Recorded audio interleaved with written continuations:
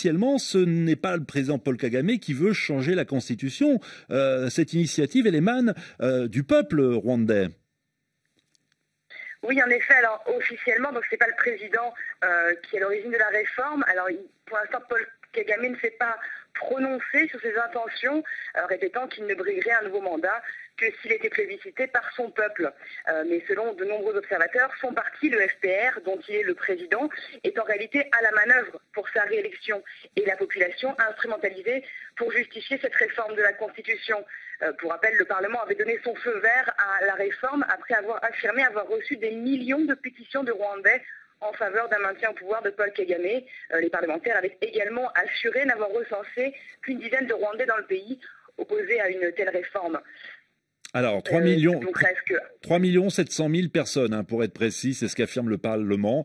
Euh, tous, ces Rwandais ont signé une pétition euh, demandant une réforme de, la Constitution. Alors, la deuxième question de Josario est intéressante puisqu'il nous dit comment se fait-il qu'il n'y a qu'un seul parti à s'opposer clairement à cette réforme? Et effectivement, ce parti, c'est un, c'est le seul parti qui s'appelle le Parti démocratique vert, un tout petit parti politique. Oui, le, Rwanda est régulièrement épinglé pour son manque d'ouverture politique.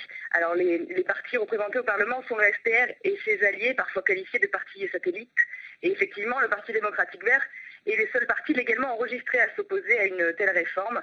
Euh, à noter que dans le pays, il y a d'autres partis qui sont contre un troisième mandat pour Paul Kagame, mais ces partis ne sont pas reconnus par le gouvernement et ne peuvent donc pas opérer. Il s'agit euh, du parti de, Victoire Ingabire, l'opposante condamné en 2013 à 15 ans de prison, notamment pour minimisation du génocide, et celui de, Bernard Taganda, un autre critique qui vient de purger une peine de 4 ans de prison, euh, notamment pour atteinte à la sûreté de l'État.